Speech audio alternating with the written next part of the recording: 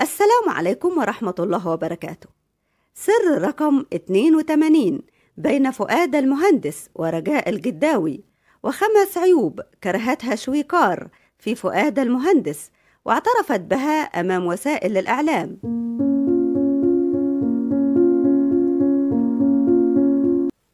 المهندس ورجاء الجداوي أشياء كثيرة جمعت بينهما ليس فقط المجال الفني وعملهما بالتمثيل ولكن أيضا الرقي والأسلوب السلس والبساطة بدون تكلف ليدخل قلوب جميع الشعب المصري والعربي دون استئذان ليشارك أيضا يوم الميلاد إنهما فؤاد المهندس ورجاء الجداوي.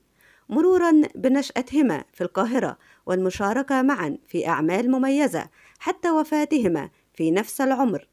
في حي العباسية بالقاهرة ولد فؤاد زكي المهندس في 6 سبتمبر عام 1924 بين أسرة مكونة من أربع أشقاء لوالد عالم لغوي ورث عنه الأستاذ خفة الظل وسرعة البديهة بينما ولدت نجاة علي حسن الجداوي في اليوم ذاته ولكن في عام 1938 ودخلت الفن من خلال عملها بالأزياء. في عام 1975 كان عام التعاون الأول بين فؤاد المهندس ورجاء الجداوي في مسلسل أرض النفاق لرواية الكاتب يوسف السباعي وبعدها ب 12 عاما في عام 1987 شاركا معا في فيلم البيها البواب من بطولة الإمبراطور أحمد زكي وهي من الأدوار المميزة والراسخة في الأذهان للإثنين. أما فوازير عم فؤاد في عام 1993 فكانت آخر الأعمال التي تعاون فيها المهندس والجداوي معا. واستمر التقاء فؤاد المهندس ورجاء الجداوي في الحياة والفن إلى آخر نفس حيث شاءت الأقدار. أن يفارق الحياة عند نفس العمر 82 عاما. إذ فارق الأستاذ الحياة في 16 سبتمبر عام 2006 نتيجة أزمة قلبية. بينما رحلت ملكة الجمال في 5 يوليو عام 2020 بعدما يزيد على شهر من المعاناة مع فيروس كورونا. السادس من شهر سبتمبر خرج إلى الحياة طفلا صغيرا لكنه لم يكن يعلم حينها أنه سيصبح واحدا من أساطير الفن المصري على مر التاريخ إنه الفنان القدير فؤاد المهندس الذي بخفة دمه وتلقائيته تاريخا كبيرا من الأعمال الفنية التي بقيت حاضرة في الأذهان حتى هذه اللحظة. وخلال أحد لقاءاته التلفزيونية رفقة زوجته الفنانة القديرة الراحلة شويكار كشفت الأخيرة عن أربع عيوب فيه وذلك من واقع سنوات عديدة قضاها الإثنان معا في عش الزوجية. وخلال اللقاء التلفزيوني النادر في برنامج سينما القاهرة مع الإعلامية ناهد جبر قالت شويكار أنها متزوجة من فؤاد المهندس منذ 8 سنوات وشهرين مؤكدة أنه كزوج وأب ممتاز على حد قولها لكن به بعض العيوب مثل العصبية وكرهه للاختلاط وعدم حبه للسهر والإضاءة الخافتة وصوت الموسيقى العالي. أنا بحب أخرج وأتفسح لكن هو مش بيحب الحاجات دي. بس لما أحط محاسنه جنب الحاجات دي بلاقي المحاسن بتغطي على العيوب. فؤاد المهندس بيغير دايما. كلمات قالتها شويكار خلال لقاء السحاب بين أشهر ثنائي في السينما المصرية وروت موقفا جمعها به. يؤكد غيرته القوية من المعجبين. كان في واحد معجب بيا ماشي في القطر وإحنا رايحين اسكندرية. وكان رايح جاي في القطر قدامي. لقيت فؤاد اتضايق وبيزعق. بس الواد ما تكلمش وقلت له الواد ما عملش حاجة عشان تتضايق. وبقى من اسكندرية لمصر مش بيكلمني ومخاصمني أنا عشان لقى معجب.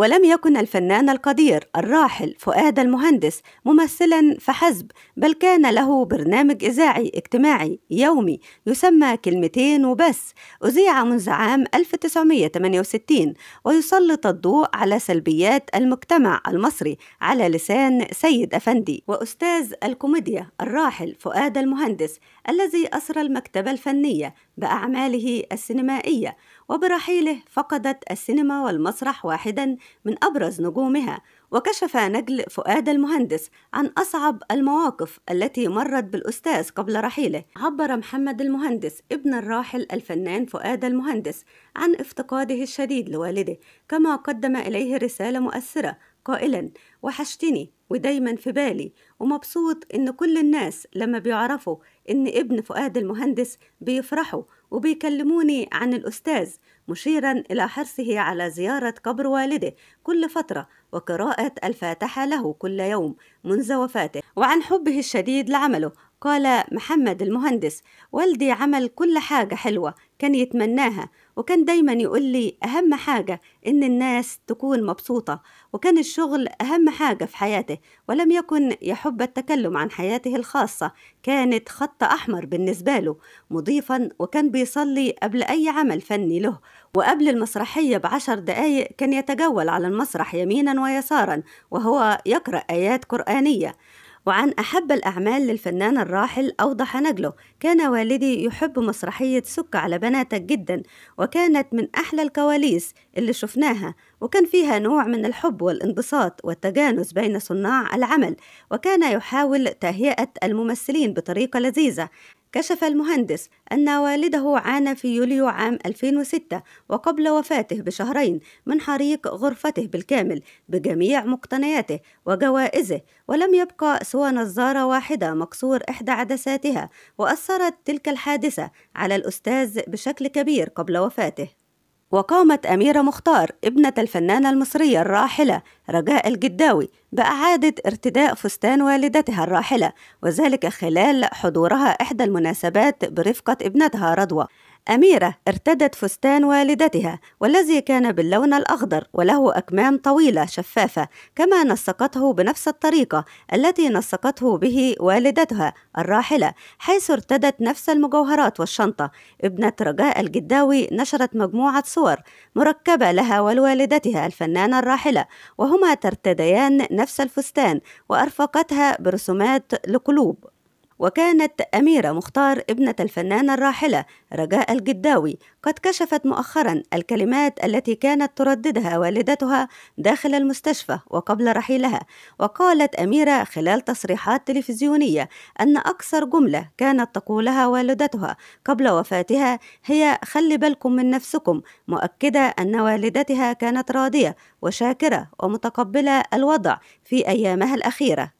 وأضافت أنا متزوجة منذ فترة طويلة لكن أمي لم تتعود الاتصال بزوجي عبر الهاتف لكن خلال فترة مرضها كانت تهاتفه يوميا في السابعة صباحا لتوصيه بي وكانت في آخر أيامها تردد يا رب أميرة من جانبها قالت فتحية شعبان الممرضة التي صاحبت الفنانة الراحلة خلال أيام علاجها بالمستشفى قبل وفاتها أنه في الأيام الأخيرة للراحلة رجاء الجداوي. كانت لا تريد التحدث مع أحد إلا ابنتها وحفيدتها وتابعت. كانت تقول لي لو سمحتي ممكن تتصلي ببنتي؟ وأكدت الممرضة فتحية شعبان أن الراحلة كانت حريصة بشكل دائم على سماع القرآن الكريم خلال فترة تواجدها بالمستشفى مضيفة كانت مش عاوزة تسمع غير القرآن كانت إنسانة عالية في الذوق والأدب. يذكر أن الفنانة رجاء الجداوي رحلت عن عالمنا يوم 5 يوليو متأثرة بإصابتها بفيروس كورونا داخل مستشفى العزل عن عمر 82 عاماً.